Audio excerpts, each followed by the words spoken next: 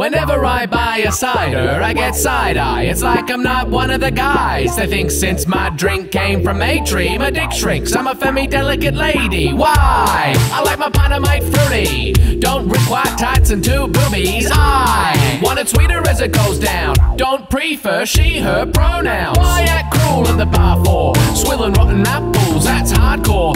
Won't catch me dead, making liquid bread. My drink's like marriage, sweet but no head. So call the dudes as I pour a quart of the naughty juice. Just let me sip a tipple of the citrus without questioning my masculine interests. Hoist your choice of poison, loud and wonky. I'm one of the boys, next round's on me.